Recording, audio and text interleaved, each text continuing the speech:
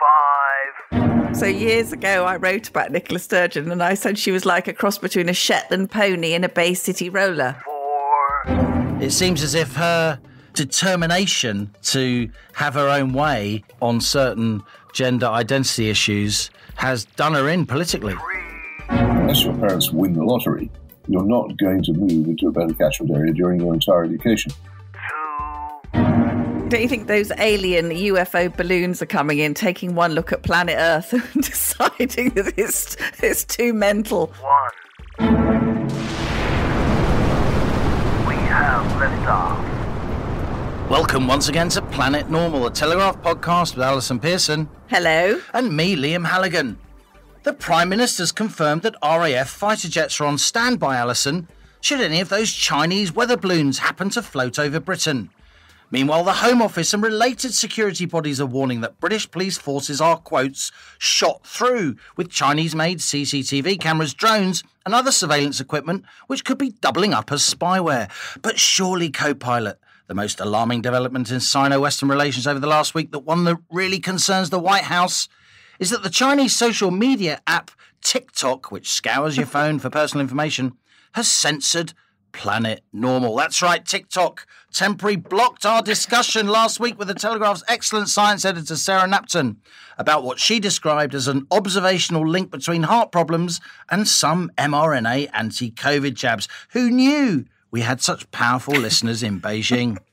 There's a lot of news about Allison. The Tories are at war over tax ahead of the 15th March budget. You've written powerful columns in Wednesday's Telegraph on both the notorious Gender Identity Development Service at London's Tavistock Clinic and about people of good sense being unfairly labelled far right. And just now, as we settle down to record Planet Normal, news has broken that SNP leader and Scottish First Minister Nicola Sturgeon has resigned. We'll come to that, Allison, but first, what do you make of TikTok censoring a perfectly reasonable discussion between the two of us and the superb Sarah Knapton? It's quite astonishing, isn't it? Actually, just before we go into this outrageous censoring by Beijing of Planet Normal, I have to say, I don't think those alien UFO balloons are coming in, taking one look at planet Earth and deciding that it's too mental. We predicted we were going to go back to the 70s, didn't we? A year and a half ago. I mean, the Brady Bunch reruns, flares are coming back. I didn't think we'd get UFOs as well. No, I know. Yes, just to say that listeners will have heard what I thought was an eminently reasonable, quite calm discussion with the brilliant Sarah Knapton uh, last week, touching on vaccine injury and just possibly now looking, Liam, at the sort of age related benefits and risks, which I think is a conversation we need to have. And I think it was a conversation that you and I felt was good to have because, apart from anything else, it discourages the wildest shores of conspiracy theories, doesn't it? But Adam Brooks, one of our former Planet Normal guest, the publican. Adam liked the Sarah Knapton interview very much, thought it was great. And then he posted it on his social media. He put it on TikTok and it was taken down as violating their community guidelines. Can I just remind Planet Normal listeners that this is the TikTok which has absolutely appalling self harm material amongst other horrors. So I think it was a bloody cheek to take down Planet Normal. But it does still show, Liam, doesn't it, that there are sensitivities uh, in certain quarters. We shouldn't harp on about this, but I did think that last week was a really useful episode of Planet Normal. You and I wanted to discuss, didn't we, links that were emerging, still unproven, but observational Yeah. links, as Sarah so brilliantly put Yeah. it. We wanted to discuss them on the podcast. We wanted to discuss them with somebody who we knew was absolutely across the issue and an expert in her respective field. So we invited Sarah on and we were really pleased with the results. And it just seems so odd. We weren't really saying anything that even parts of the government haven't acknowledged are of concern links between heart conditions and the mRNA vaccines. This is not particularly contentious or way out there at all. This is mainstream scientific discussion, albeit by us with our science editor, in order to try and decipher these very difficult parts of the news. And it struck me, you know, if Beijing were going to ban us over anything, I thought picked another hill to die on. But look, talking of hills to die on, crikey, eh? Politics. Nicola Sturgeon. I know. It seems as if her determination to have her own way in the Scottish Parliament on certain gender identity issues has done her in politically. Now, I've got to tread quite carefully here. This will make you laugh. So, years ago, I wrote about Nicola Sturgeon and I said she was like a cross between a Shetland pony and a Bay City roller, a comparison by which I still stand. But I had the monstrous tartan hordes descending on me because they don't have some of the Sturgeon SNP supporters, and they don't have a great sense of humour. Anyway, my favourite comment of the week so far comes from one of our Scottish listeners. who responding to the Sturgeon resignation said, Oh, she'll be back in a few months as Nicola Sturgeon. we always said it was strange, didn't we, that she was so adamant that she was right. Mm. The real flashpoint, wasn't it, was the decision by the Scottish government to allow a male born person who'd raped two women and who hadn't had gender changing surgery. So he was or she was allowed into a female prison, clearly a threat to female born inmates of the prison. Yes. And yet she decided, and let's be clear, Labour and the Lib Dems also voted with her, with the SNP in the Scottish Parliament, to put forward certain gender related identity issues, which Alister Jack, the Scottish Secretary, reversed. And you've got polling out over the last couple of days, which shows that most Scottish people agreed with that decision, even though it was a decision made by a Conservative government. But with so many you know, traditional church going people supporting the SNP, it seemed really strange that she decided to make the constitutional point based around this particular issue, which itself is so contentious. Yeah, I mean, I think obviously the gender recognition stuff, this double rapist, Adam Graham, who decided that he was a trans woman called Isla Bryson, and we had the absolute final absurdity of trans ideology with the First Minister unable to say whether this double rapist was a male, female, or indeed anything else. And I tell you what's really interesting is that I don't agree with Sturgeon on a lot of things, but she always had a great popular touch. Yeah. She was an incredibly canny political operator. I think you could argue one of the best in these islands since Tony Blair. I agree. A formidable election winning machine. If you remember that she was first minister for eight years and before that as Alex Salmond's deputy, and the SNP was transformed from being a pretty so so opposition party to the dominant force in Scottish politics. And of course, over her tenure, Sturgeon led the SNP to repeat election victories at UK, Scottish,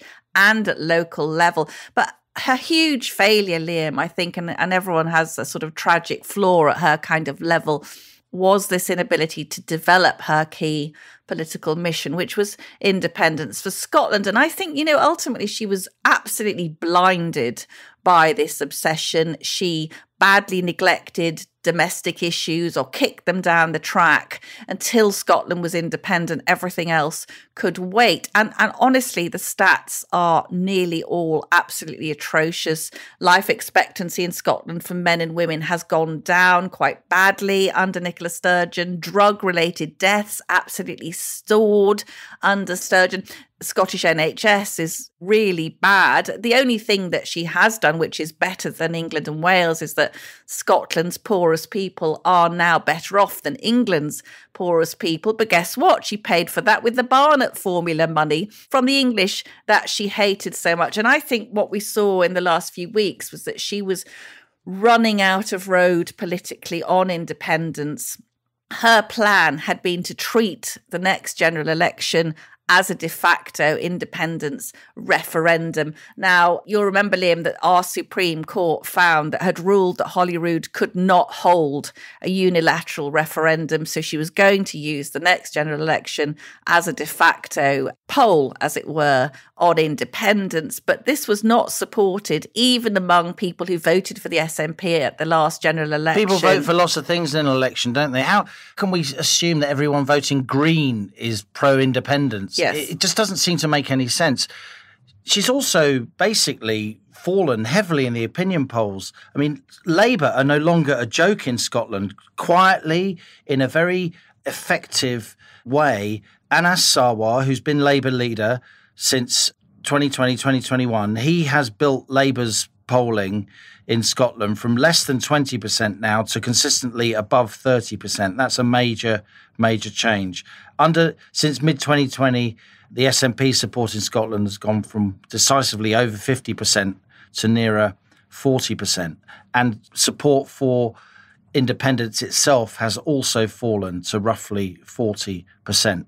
And it seems to me that Sturgeon's one trick pony act of just saying everything is a kick in the teeth for Scotland, everything is a constitutional outrage, everything is a betrayal of Scottish voters, when, as you say, the outcomes in terms of health and education have been so poor, I think a lot of the Scottish people are becoming impatient with that the irony is, of course, because she hates the bloody Conservatives, doesn't she? But she did do the Conservatives a huge favour, of course, because she managed to shut Labour out of Scotland overwhelmingly. And I suspect that one of the bigger beneficiaries of Sturgeon's departure is likely to be Keir Starmer, possibly not in the short term because the SNP is still pretty far ahead in the polls, but in the medium term. And uh, some of our Planet Normal listeners in Scotland have said nationalism is over for a generation. So I think she is bowing out now, partly because obviously the gender recognition stuff made her look absolutely ludicrous, a bit of a laughing stock, but also because her grand project is now pretty doomed. Just thinking about the Keir Starmer, Liam, I think that what's been overshadowed by the news of Sturgeon's resignation is the fact that Starmer was saying yesterday Jeremy Corbyn will not stand as a Labour candidate at the next election. The Equalities Commission has just taken Labour out of special measures for anti Semitism, which it was put in in October 2020, largely due to the dreadful Corbynist anti Semitism. So you've got Sir Keir now, haven't you, nailing momentum to the ground, as it were, and plus this opportunity now to win back a few Labour seats in Scotland. So this is looking like a good week for Labour. It certainly is. And before we move on, while we're just talking about constitutional issues in Scotland, it's never ceased to amaze me that when you look at the results of a general election, let's just put the Scottish elections to one side at the moment, important as they are, because of course Scottish MPs have just as much power pretty much at Westminster as MPs elected in England. She keeps saying how underrepresented Scotland is. It's massively overrepresented. Before we move on, can we make this point? So, really, when I absolutely came to despise Nicola Sturgeon, was she cynically used the COVID pandemic to advance the cause of Scottish independence yep. using the separate powers she had under devolution to accentuate the difference with England rather than pulling together as one united nation at a time of national emergency. And listeners will remember that Scotland's lockdowns were sometimes contrarily longer. The mask wearing was more extreme, even though it had less than any benefit in Scotland at all. And in Matt Hancock's book, he admitted that the Westminster government capitulated and agreed to kids in English schools wearing masks purely because Sturgeon had imposed that on Scottish children. So there she was, ramping up the grievance machine to blame Westminster for all of Scotland's ills. I think goodbye and good riddance, frankly. I agree. That was absolutely part of the COVID theatre, which David Frost labelled so effectively. But look, you've written two barnstorming columns this week. The first one was about the Tavistock because you read a fantastic book. We've spoken before, haven't we, with James Esses and others on Planet Normal about GIDS, the Gender Identity Development Service for Children and Young People at London's Tavistock and Portman NHS Trust. Now, we have known, Liam, haven't we, that deeply dodgy things were going on at GIDS for quite some time. There was an interim report last year by Dr. Hilary Cass mm. finding the Tavistock model of care for confused adolescents wasn't safe, huge increase in gender distressed youngsters. And rather than acting as a pause button, wasn't allowing them to explore their identity, rather than to lock them into an extreme medicalized treatment pathway, which, if you please, had no evidence about long term effects. Anyway, yes, now comes this bombshell of a book from Hannah Barnes, a Newsnight journalist. The book's called Time to Think The Inside Story of the Collapse of the Tavistock's Gender Service for Children. And Liam, it is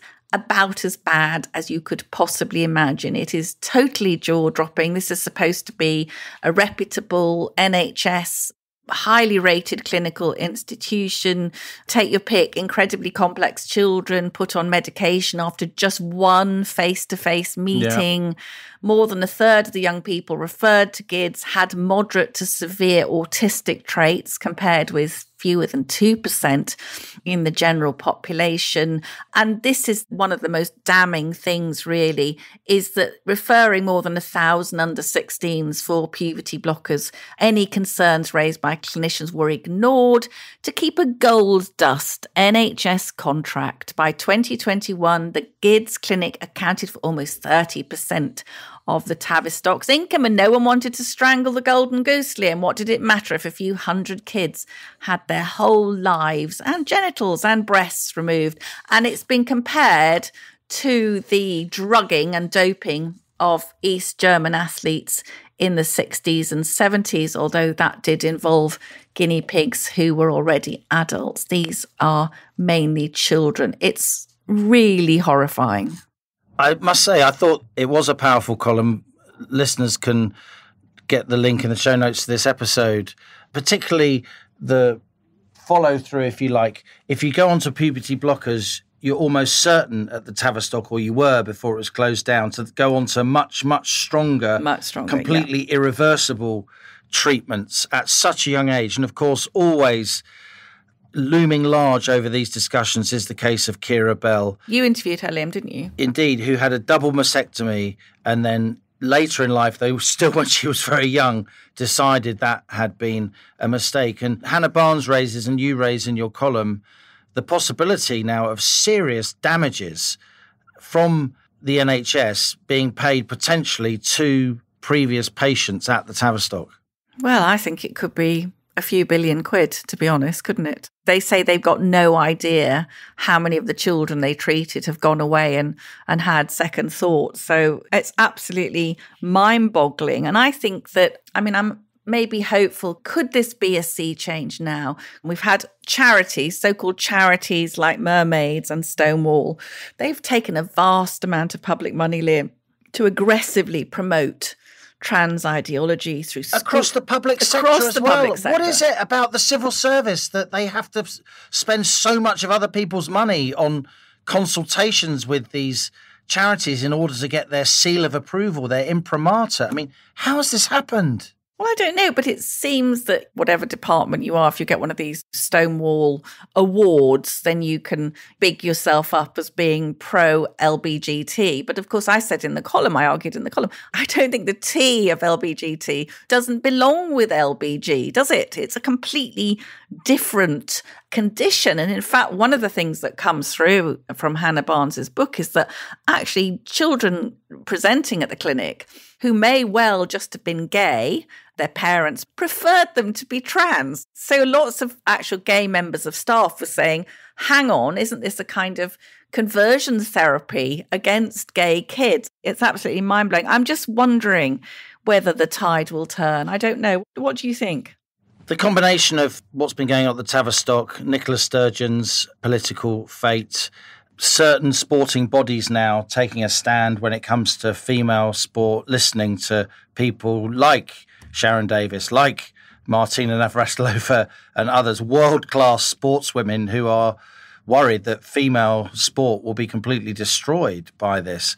I think now it seems like part of the firmament, if you like, that doesn't want to listen are the big corporations, the big businesses who yes, seem determined to follow so called woke capitalism. Look, we should say you were very careful to distinguish between some of the advice that was given at the Tavistock that was inappropriate, but also the need to treat very carefully and with respect genuine gender dysphoria, which is, of course, a recognized medical condition. And no one would want to belittle the trauma that that causes. And I think that is an important distinction.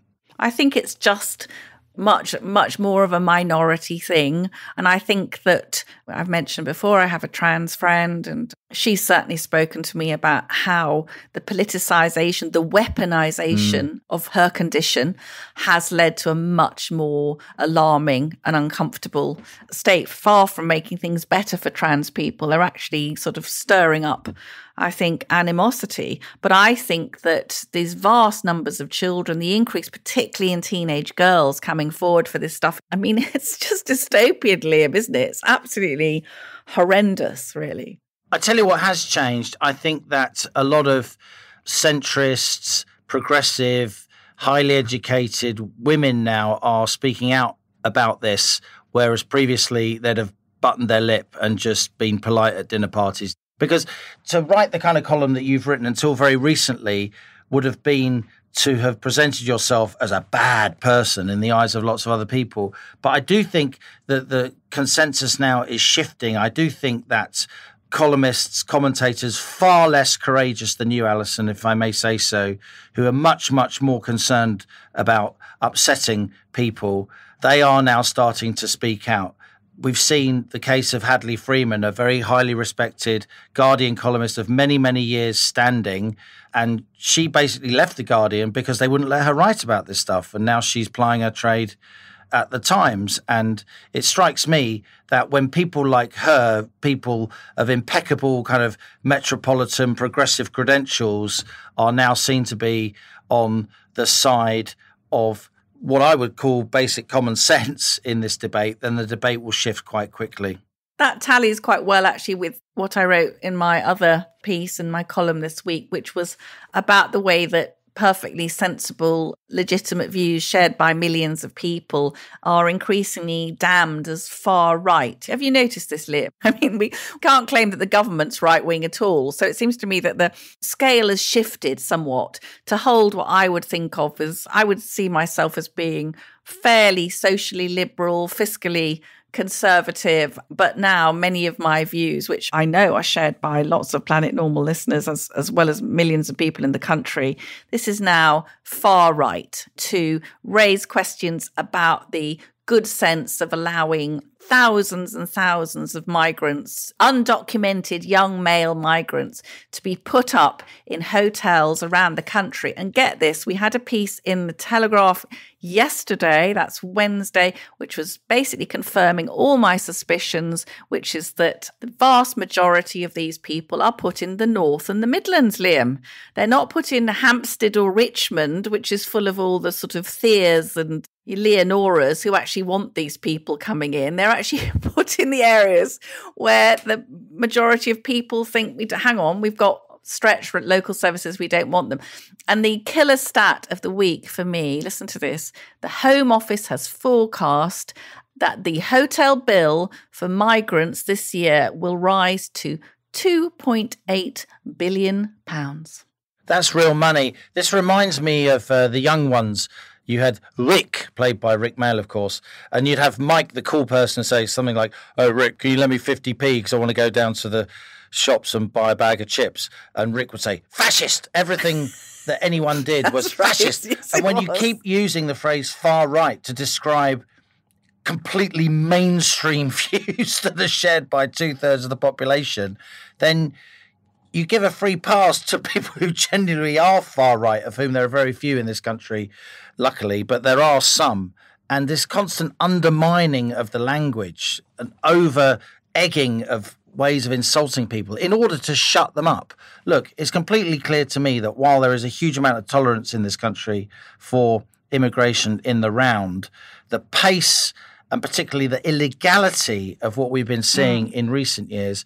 I grew up in a part of London that was massively diverse. Yeah, Brent, it was. it was the most diverse place in the UK at the time when I was growing up there. And so I grew up with many Indian, Caribbean, Jewish, Irish families in and out of each other's houses all the time. Great friends of mine to this day. And I know from talking to a lot of my childhood friends and indeed their parents who are still knocking around how they struggled and made sure that they dotted all the I's, crossed all the T's in order to get their family to the UK. And when a relative was allowed in, there was, there was literally a street party because everybody knew that that family would then be more complete. Yeah. This is what really gets on the wick of a lot of ordinary British people of immigrant stock.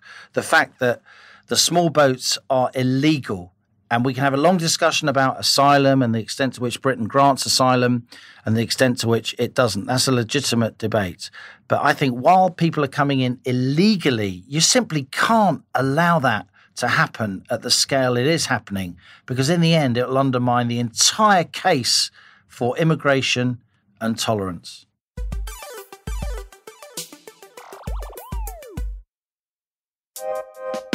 Nigel Farage, This is the most commonest thing done by any government in my lifetime in this country. Lionel Shriver, Which is worse, Biden's not being in control and Biden being in control? Charles Moore, I think if people in general feel that their traditions, culture, history, values, etc., are under assault, they are basically right. My name is Stephen Edginton, and if you're enjoying this podcast, you might like Off Script, a new series from The Telegraph. Provocative conversations with provocative individuals. Each episode, I sit down with a world leading commentator to unpick the ongoing culture wars. Unfiltered, unscripted, and full of free speech. Be sure to listen to Offscript in the same place you're listening to this, and make sure to follow so you don't miss an episode.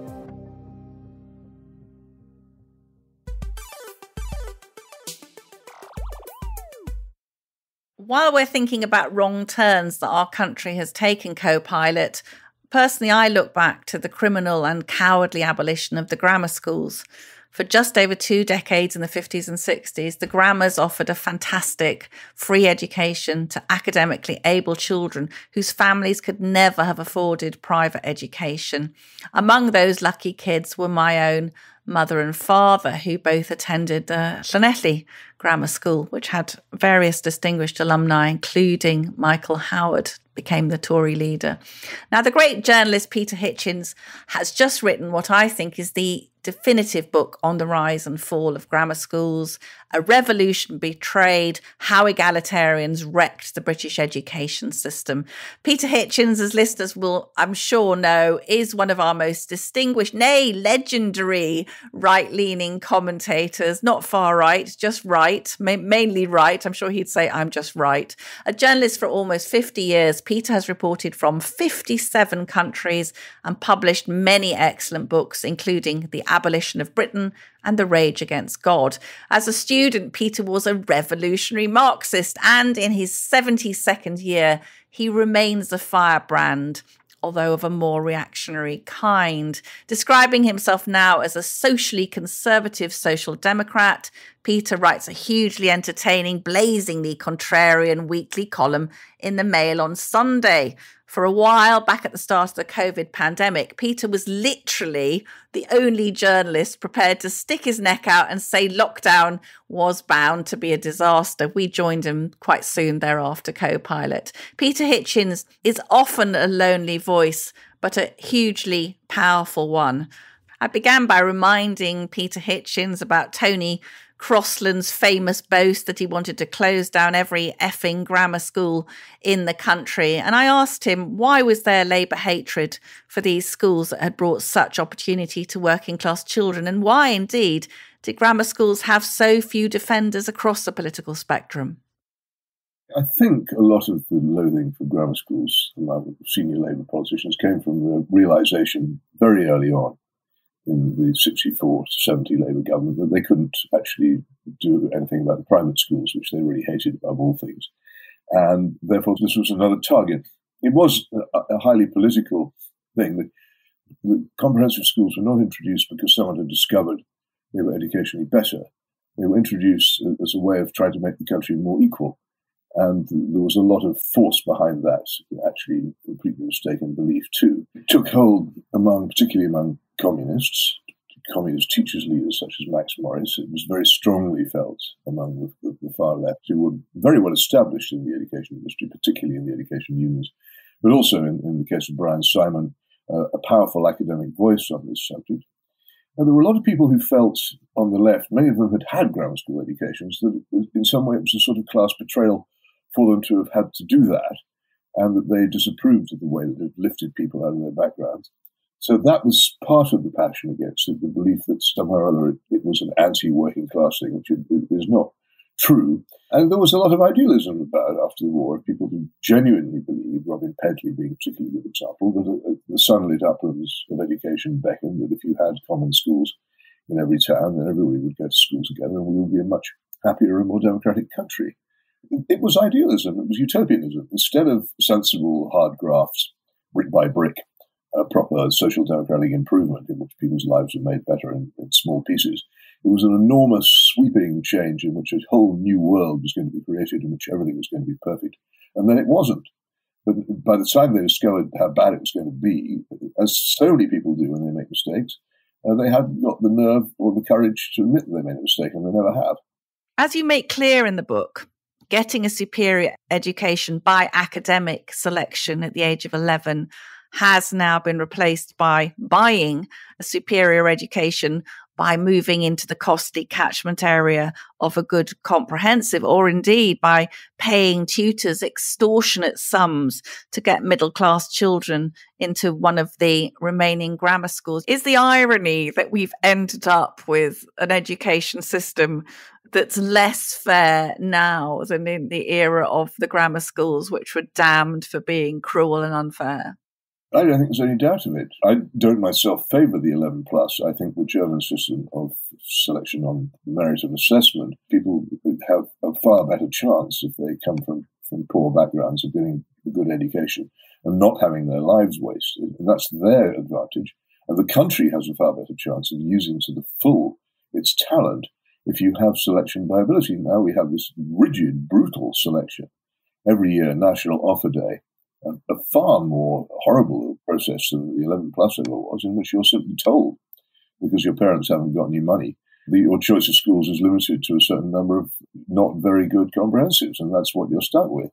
It's very heavily, very heavily affected by money and by house price, and there's, there's no doubt about it. Organisations such as the Sutton Trust, which have no time for grammar schools, and Teach First as well have done the research on this, and the, the, the social bias in the better comprehensives. I won't call them good because none of them are remotely as good as grammar schools used to be. But the, the, the, social selection in those schools is terrifying and ruthless. And the other thing about it is there's no going back over it. Unless your parents win the lottery, you're not going to move into a better catchment area during your entire education. At least with the old, the old selection by ability arrangement, you actually got, a, in many cases, a second chance at 13.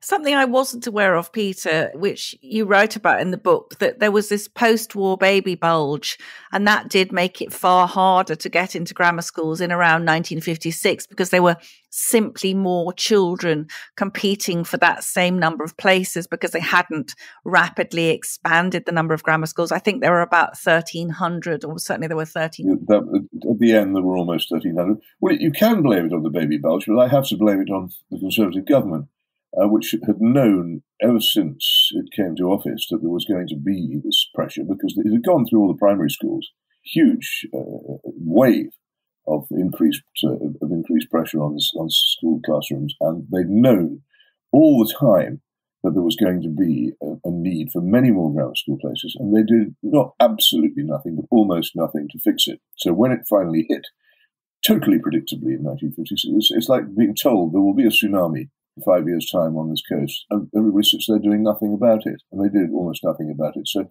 when that came, of course, the system, which had never been totally fair, uh, became deeply unfair in some places, and people were excluded from chances at grammar school who should have gone. And this began to make the idea of selection mobility unpopular. And it, uh, until then, this had been an obsession with the Labour left, particularly the Labour educational left and it hadn't really meshed with public opinion. But after then, it, it did and became an election issue of sorts, particularly in '64. But it wasn't the schools that were unpopular; it was the exam. And it, the, the Labour government came into office in '64 on a manifesto that more or less said, "We will provide grammar school education for everyone," which is a flat lie.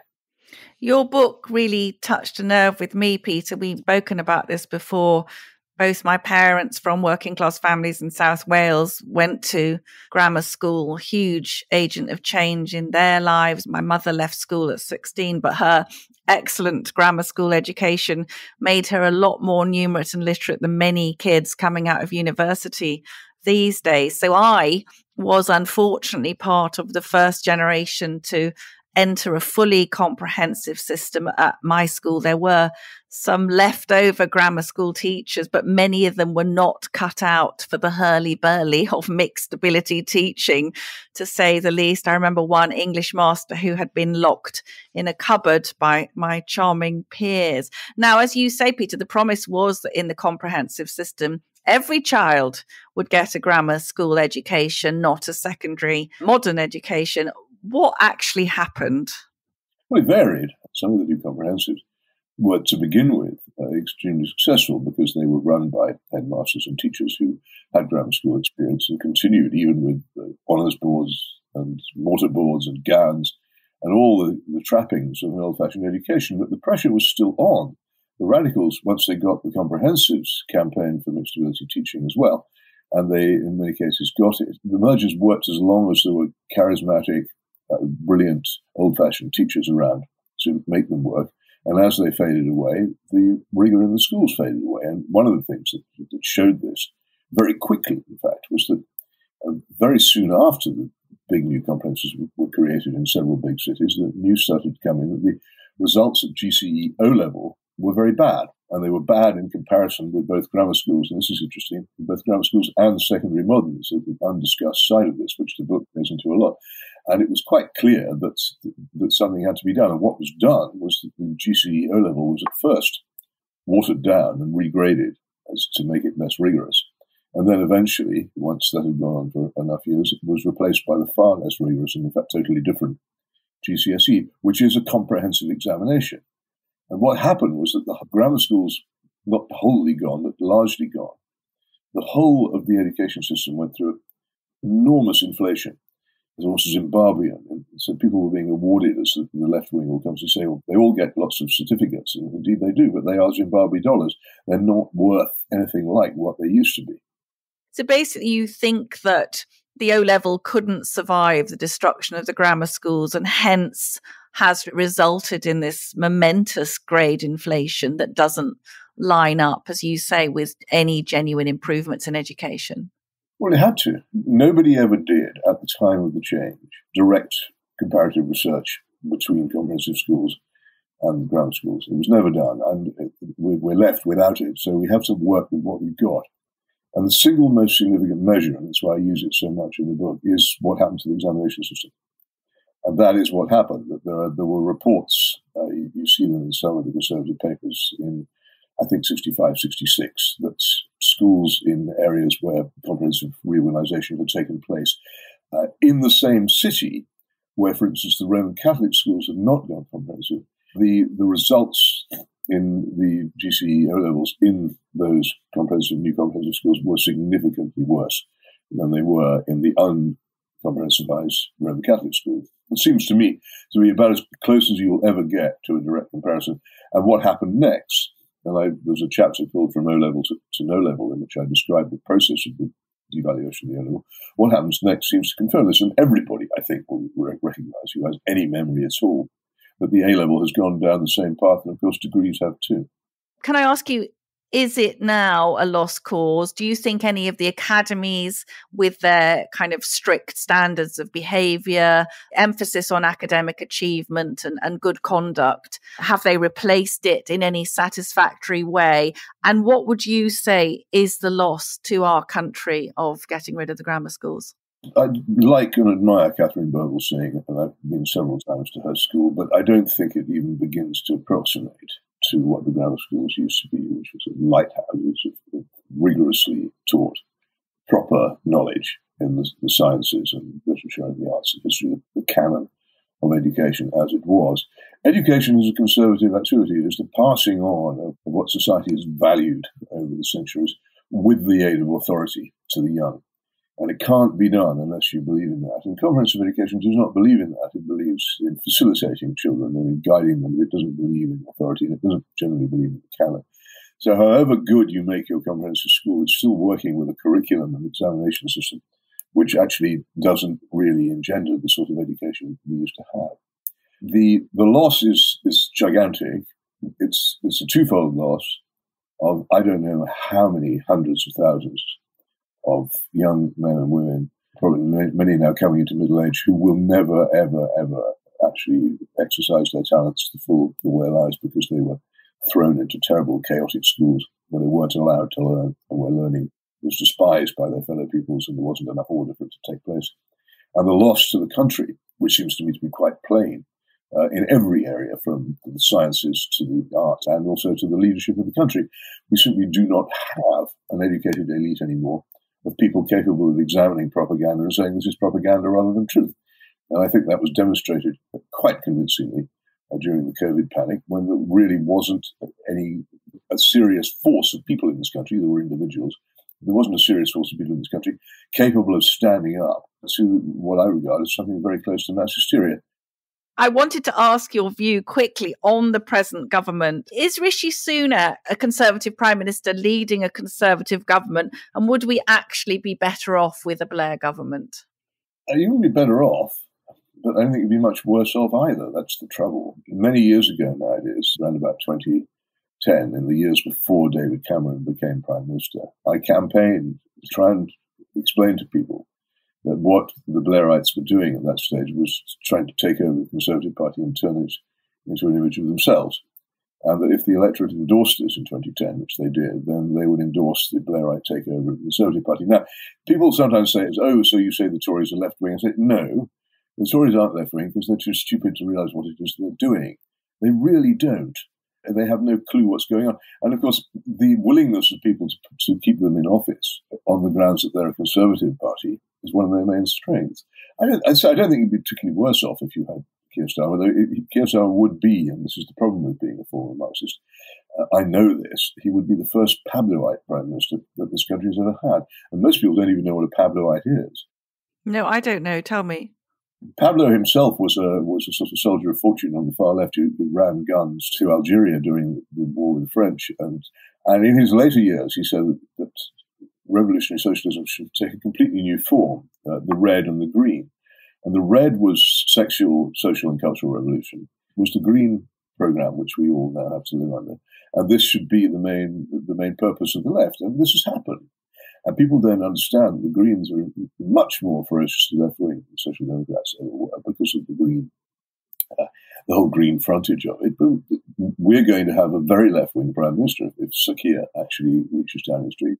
Finally, Peter, I want to ask you about COVID and lockdown. You were one of the very first people to raise the alarm about lockdown. There were very few journalists throughout who dared to query this unprecedented closing down of basic freedoms. I know you're a, a veteran of current affairs. I think we were at a dinner once and you leant across the table and you said, Allison, your problem is you still believe in things, by which I was duly chastised. But were even you, Peter, shocked by the speed with which this unprecedented assault on our civil liberties was allowed to unfold?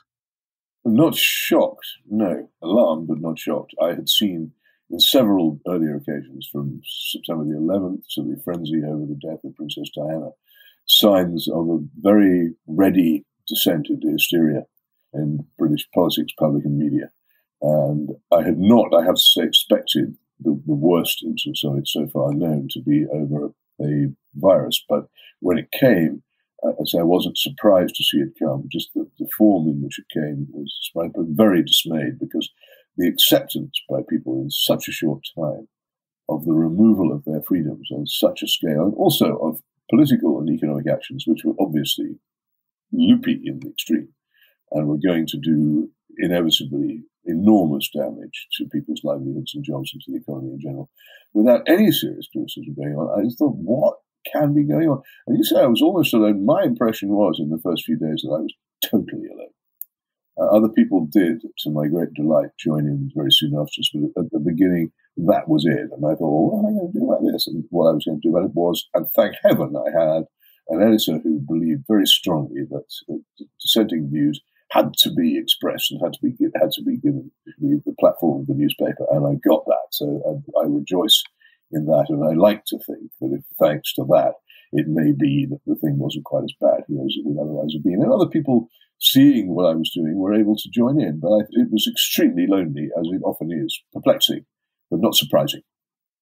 On Planet Normal, Peter, we have a lot of listeners from all walks of life in health, business, education, science, the armed forces. Uh, listeners are all excellent, notably sane, bright people who can see what the problems are in their various fields, but who are often battling forces from health and safety, various woke absurdities, repression of free speech, failure of politicians of any party to stick up for their values. Do you have any encouraging words for the citizens of Planet Normal, Peter? Can we live in hope that Planet Normal may triumph on planet Earth? I, I sometimes feel I should set up an advice bureau which would issue pieces of advice. Like, actually, it's all over. Stop pretending that there's anything to be hoped for from you. Make your own private arrangements. We've had it. But my view is that this is a country in which the revolution has happened. We live in a society who have no idea that we've already been decapitated by one of the most enormous political, social, cultural, and social revolutions in history. Political power, economic power, educational power, media power all lies with the enemy. And what is more, the, the, the, victims of this revolution, for the most part, don't even realize that it's happened. It's the Kierkegaardian revolution. All the buildings are still standing, and in many cases, they look rather nice. But the things they represent have vanished. And people are, are, are moving around in a world which is completely altered. And they, every so often, they come up against it. And they say, oh, good heavens, my child is being propagandized at school, or oh good heavens, I'm now paying more tax than any time since the 1940s, or mass immigration seems to be a popular concern of every government since 1997 and doesn't seem to stop. And it's some examples of things which are going on and have happened when nobody was looking. And how do you propose to reverse that? If people couldn't even see that the arrival of David Cameron as the leader of the Conservative Party was a disaster for the country, and couldn't even see that, that, that voting for him would confirm the, the, takeover of the last Conservative political party in the country by the left. What do you propose to do now? Uh, if you have any bright ideas, send them to me on, on, on a postcard. I'd love to know, but I look at it and I think, kindly nod, please. Peter, you're a perfect guest for Planet Normal. Despite the gloom, everybody will be hugely cheered up by the Eeyore-ish blast. Thank you so much for being a guest on Planet Normal today. Well, it's being so pessimistic that keeps me cheerful. it's interesting, Allison. There are about 160 grammar schools still, aren't there? Mm-hmm. Around 5% of pupils go to grammar schools, but they do tend to be these days kids from relatively affluent families who can afford the tutoring, can afford the parental time and effort that goes into passing that 11 plus, a tough exam.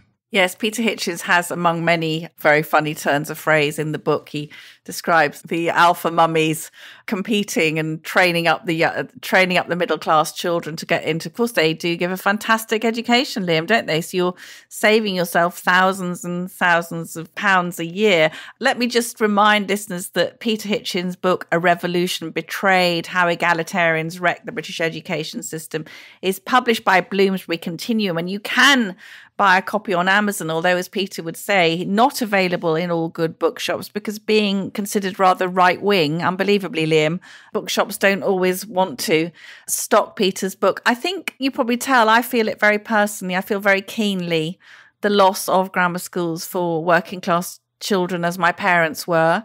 I do think they were great. They only lasted for 21 years, but I think they gave our country an extraordinary generation of talented, particularly scientists and medics. And there were lawyers coming up to Oxford and Cambridge from the valleys where I come from. And it's a key stat for me, Liam, is that now Oxbridge tries to sort of gerrymander places for kids from our kind of homes but when the grammars were thriving, there was no need for any special favours because those kids were so well educated they could beat the pants off the privately educated kids, which I just think we are missing a trick.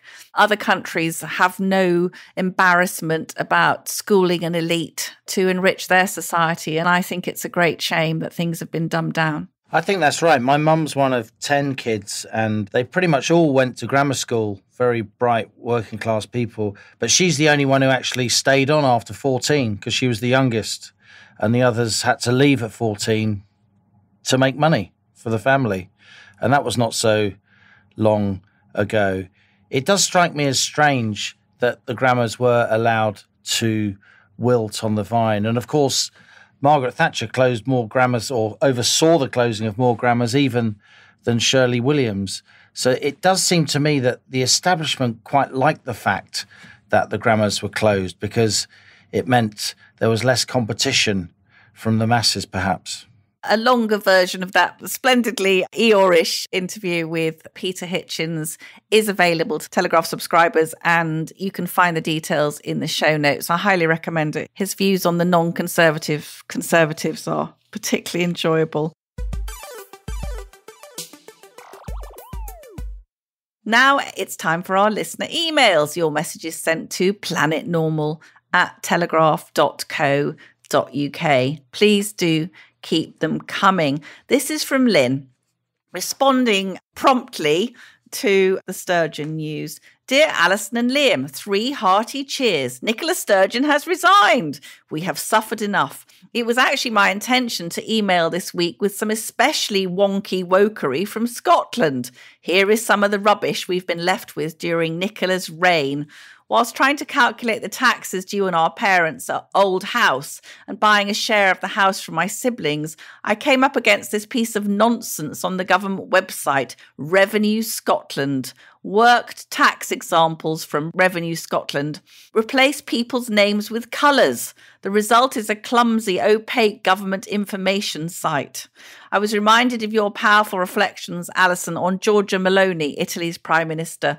We are not code numbers or colours we'll defend our identity. Opaque information sites and male period information officers are just some of the woke rubbish our taxes are squandered on in Scotland.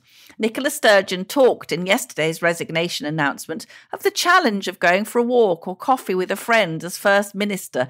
My response First Minister, you kept us locked in our homes and under some of the country's most stringent lockdown rules. You have squandered our hard earned taxes. You've done enough damage. Three cheers and hurrah, you're leaving. Keep up the excellent work, co pilots. Planet Normal. The week is never the same without you guys in it. Warmest regards, Lynn.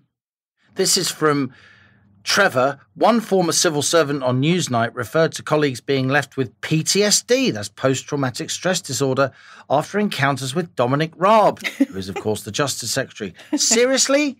Like being in Afghanistan and having your legs blown off? Are these people real or are they just self important wimps? asked Trevor. And this is from Hugh.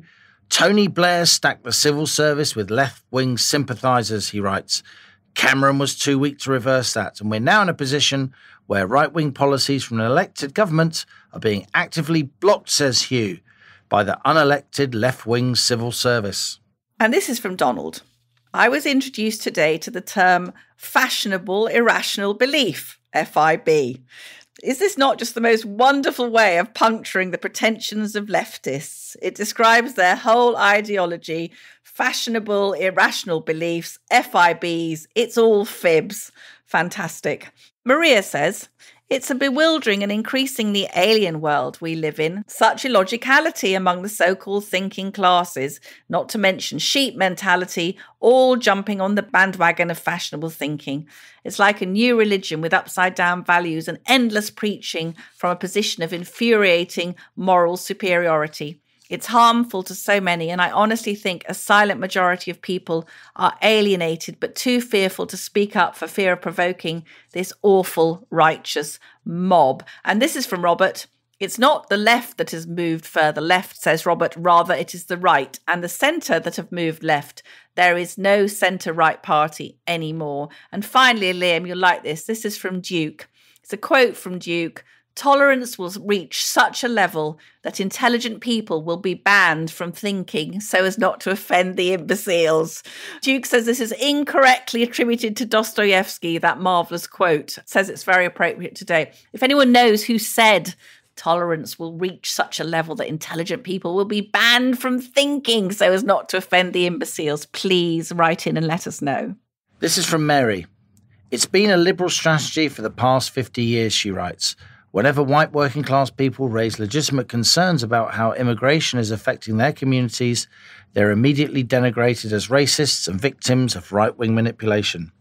One effect of this was seen in Rochdale and 24 other towns and cities where gangs of mainly Pakistani men were allowed to rape and pimp children for two decades unchallenged for fear of upsetting community relations. Liberals have no response to this other than to express their hatred for those who are harmed by it and to delegitimize their concerns. We see the result of that approach in Europe with the rise of far right groups prepared to challenge such denialism. A powerful email there from Mary. And on that bombshell, that's it from Planet Normal for another week. As we leave our sanctuary of sweet reason, our flying refuge of reasoned views, and no UFOs. Email of the week. Liam, your turn. I think we should give email of the week to Donald for his fashionable, irrational beliefs. So, Donald, email us planetnormal at telegraph.co.uk, put mug winner in the subject heading to your email, and give us your postal address, and we'll send you that coveted Planet Normal mug. I think fibs, fashionable, irrational beliefs can enter the planet normal pantheon, myth- mythological with orthogonal to the orthodoxy. If you enjoy Planet Normal, please leave us a rating and a review on Apple Podcasts or Spotify. They really cheer me and the co pilot up. And as we speed away from our beloved planet Normal and the madness of planet Earth comes back into view, thanks as ever to our producers Isabel Bajard, Elliot Lampitt, and our editor Zoe Hitch. Stay safe and in touch with us and with each other. Until next week, it's goodbye from me. And it's goodbye from him.